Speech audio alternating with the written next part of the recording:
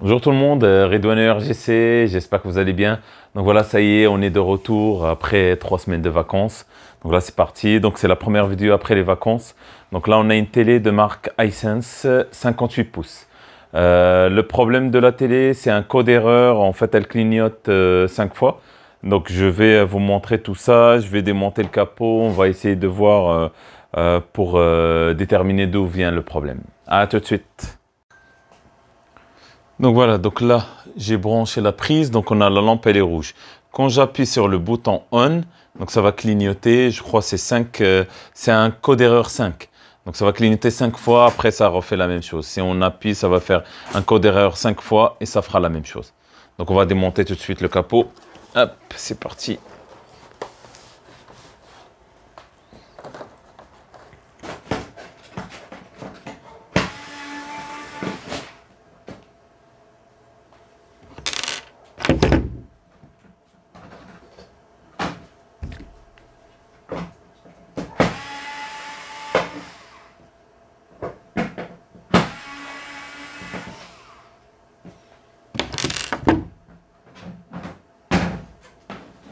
Voilà, donc après avoir euh, enlevé le capot, donc là on voit pas de composants grillés comme ça visuellement. hein. À chaque fois, il faut regarder visuellement si vous voyez quelque chose qui est brûlé ou quoi que ce soit. Donc pour le moment, je vois rien.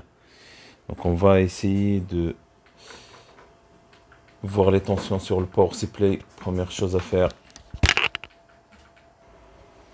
Voilà, donc là j'ai alimenté la télé.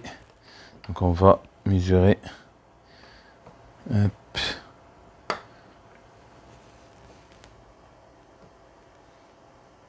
Neuf volts. 19 volts. On a le 19 volts. On a le 19. Est-ce qu'on a le 12 volts? On a 9 volts. 9 volts. Et le 19. Donc j'ai l'impression que le port supply, il n'a pas de problème. Donc quand je démarre la télé, on a le 12 volts directement. Donc les tensions, on les a. On va essayer de voir, parce que j'ai déjà eu le cas, ça peut venir en fait du, euh, des barres LED en fait, qui posent problème. Donc on va essayer de les tester séparément. Donc avec mon appareil de testeur de LED, normalement quand je vais injecter le courant, je dois avoir une valeur ici.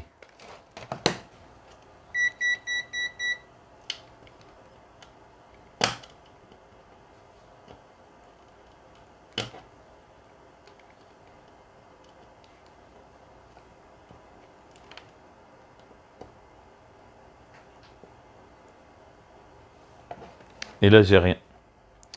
Donc, il se peut qu'il y ait des 2-3 LED, voire euh, une barre LED qui pose problème, qui ont cessé. Donc, ce qui fait que ça pose ce souci et c'est pour ça qu'on a un code erreur. Donc, à mon avis, le code erreur là, il correspond au rétroéclairage.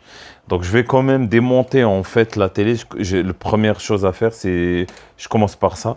Je démonte la télé, j'enlève l'écran et je regarde, je teste les barres LED. J'ai pas le choix. Je fais ça. Après, j'attaque s'il y a un souci sur la carte mère. Ici, il nous manquait, en fait, c'était un signal faible. En fait, on avait 9 volts au lieu de 12. Euh, par contre, quand j'appuie sur le bouton, j'ai le 12 volts sur la, carte mère. Donc, euh, donc, logiquement, le port supply, il envoie toutes les tensions. Donc là, il n'y a pas de souci. Et j'ai sur les hum, transistors, j'ai les MOSFET transistors, j'ai les tensions, en fait, j'ai le 12 volts et le 19 volts. euh, qui gère, euh, je pense, le 19, ça va être le, la, tension euh, pour le rétroéclairage euh, qui va être euh, amplifiée par la ici. Donc je vais démonter. Voilà, donc là on arrive à la partie la plus compliquée en fait de, ce diagnostic, donc c'est d'enlever l'écran. On m'a demandé au moins 15 fois comment je fais pour enlever l'écran. Voilà, donc il y a deux étapes. Voir si la télé elle est collée. Donc euh, si la dalle elle est collée, ben, on va utiliser la technique euh, de, du plastique. Et deuxièmement, on va utiliser en fait le, scotch pour euh, déposer l'écran. Je vais poser un brevet pour ça. hein. Je ne l'ai pas fait, mais je vais le faire. Non, mais je rigole. Donc voilà, donc je vais vous montrer comment déposer l'écran. OK? Donc tout d'abord, pour voir si la télé elle est collée ou pas, donc il faut juste faire ça. Voilà. Donc je, je rentre.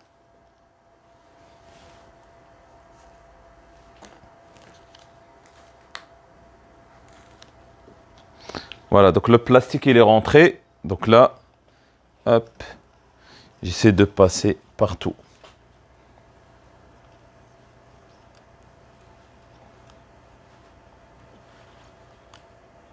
Voilà, donc c'est pas collé. Pour moi, c'est pas collé. Donc voilà, donc maintenant je vais mettre le scotch. Et euh, donc ça remplace la technique de la ventouse. Donc pour mettre le scotch, il faut juste faire ça. Prenez des morceaux de scotch pour faire une poignée en fait. Voilà.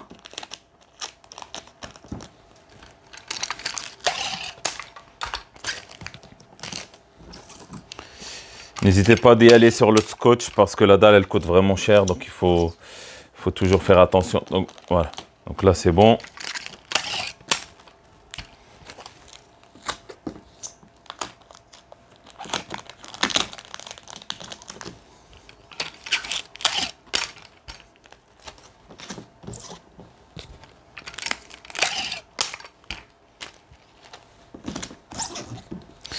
Voilà, une fois on a fait les deux poignées.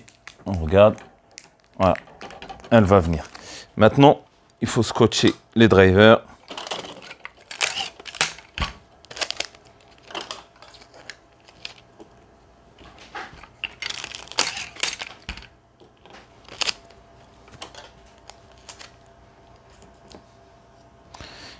Pour qu'on soit d'accord, je vous montre la technique, mais je ne suis pas responsable si vous cassez un écran ou quoi que ce soit.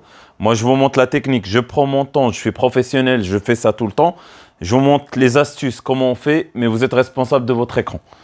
Voilà. Donc c'est parti,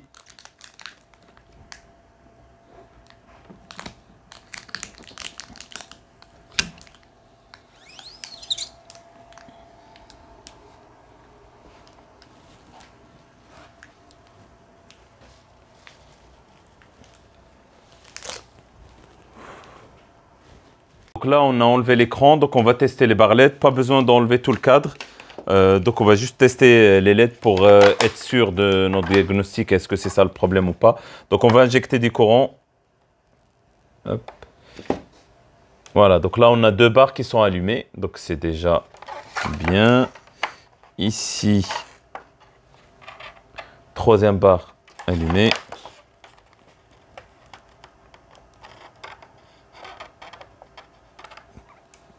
Donc la quatrième allumée. C'est possible qu'il n'y a pas de problème sur les LED, on verra. Et la dernière barre. Voilà, donc c'est allumé. Ah, donc là, on a une LED qui est défectueuse. Donc là, on est sur la bonne voie. Donc à mon avis, la LED là, elle est en CC. Donc c'est ça qui pose problème, que ça fait le code erreur sur, euh, euh, la télé. Euh, donc j'ai une solution, moi j'ai des barres neuves. Donc on va mettre une barre juste ici. On va essayer d'alimenter la télé, voir est-ce que toutes les barres vont s'allumer ou pas. Tout de suite. Voilà, donc là on a une barre neuve. On va juste remplacer donc la barre qui est défectueuse et on va remettre le rétroéclairage. Voilà. Et ici on a le bouton.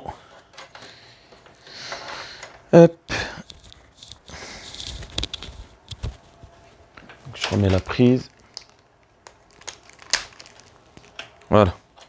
Donc là, on a le bouton. Donc on va appuyer. Hop. Magique. Super. Donc c'était effectivement juste une LED qui était défectueuse ici, qui, qui était en CC, qui posait problème. Euh, donc le code erreur, donc là c'est 5 ou 6, 6 fois ça clignote. La marque c'est iSense. J'avais cherché sur YouTube, j'ai pas trouvé de vidéo, c'est pour ça que je fais cette vidéo pour vous, euh, parce qu'il y a beaucoup de monde qui ont cette marque. Euh, donc voilà, si ça peut aider, pourquoi pas. Euh, donc j'espère que cette vidéo vous a plu. Je vais remonter la télé tout de suite et je vous mettrai le résultat final, comme quoi la télé elle est fonctionnelle. donc j'espère que cette vidéo vous a plu et je vous mets le lien pour ceux qui, veulent, qui ont le même télé, qui veulent commander les, les barlettes. Et je vous dis à bientôt pour une autre vidéo. Au revoir.